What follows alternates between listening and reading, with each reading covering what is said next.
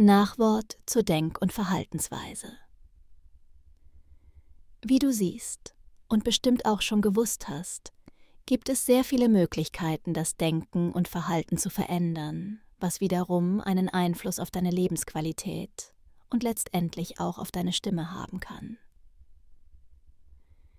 Wenn du dir diese Denk- und Verhaltensweisen bewusst machen willst, musst du sie immer wieder lesen oder anhören.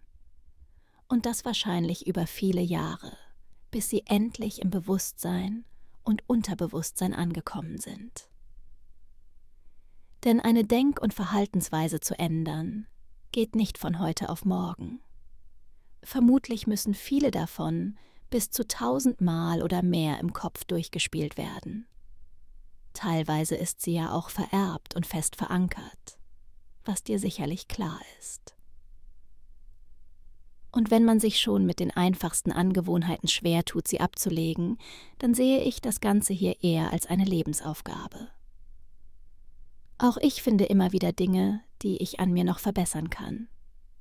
Und werde sicher auch immer welche finden, so wie wohl jeder Mensch. Zudem spielt ja auch zu einem gewissen Grad, wie bereits geschrieben, das vererbte Verhalten mit rein, was sich nur sehr schwer, wenn überhaupt, verändern lässt. Insbesondere das, was in emotionalen Momenten besonders sichtbar wird. Falls du noch weitere Ideen hast, die das Denken und Verhalten verändern können, kannst du sie gerne an info at soundtitics.com schicken.